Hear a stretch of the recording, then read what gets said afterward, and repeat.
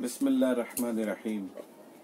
تجلیات حکمت، موضوع 145 عذاب حدیث اس امت کے اچھے لوگوں کو بھی عذاب سے امان میں ہرگز نہ سمجھنا، کیونکہ اللہ تعالیٰ نے فرمایا، اللہ کے مکر سے نقصان اٹھانے والی قوموں کے علاوہ اور کون اپنے آپ کو امان میں سمجھے گا؟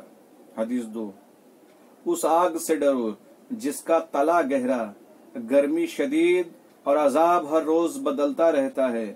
جو ایسا ٹھکانہ جہاں رحمت کا وجود نہیں ہوگا، نہ وہاں کسی کی پکار سنی جائے گی اور نہ ہی کسی کی تکلیف کو ختم کیا جائے گا۔ حدیث تین۔ برا اخلاق دو عذابوں میں سے ایک عذاب ہے۔ حدیث چار۔ اللہ کے عذاب سے خوف زدہ رہنا متقی کا وطیرہ ہے۔ حدیث پانچ۔ مظلوم و مصیبت زدہ کی یاوری کے ذریعے تم عذاب میں عذاب خدا سے بچ بچا بچ جاؤ گے۔ حدیث چھ اللہ کے گھر کی زیارت عذاب جہنم سے امان ہے۔ حدیث سات۔ احمد کی صحبت روحانی عذاب ہے۔ حدیث آٹھ۔ طولان قنوت و سجدے جہنم کے عذاب سے نجات دے دیتے ہیں۔ حدیث نو۔ لوگوں پر ظلم کرنے والا روز قیامت اپنے ظلم کی وجہ سے اوندھے منہ پڑا عذاب سہ رہا ہوگا۔ حدیث دس، جھوٹی قسم کھانے میں جلدی کرنے والا بھلا کیسے عذاب الہی سے بچ سکتا ہے؟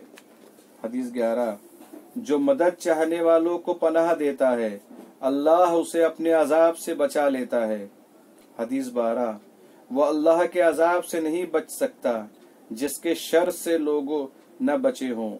حدیث تیرہ اپنے نفوس کو عذاب الہی سے اطاعت خدا میں مبادرت کر کے بچاؤ۔ حدیث چودہ۔ جہنم میں وارد ہونے والے ہمیشہ معذب رہیں گے۔ حدیث پندرہ۔ بڑی بعید بات ہے کہ ظالم اللہ کے دردناک عذاب اور عظیم سطوت سے بچ جائے۔ والسلام علیکم ورحمۃ اللہ وبرکاتہ۔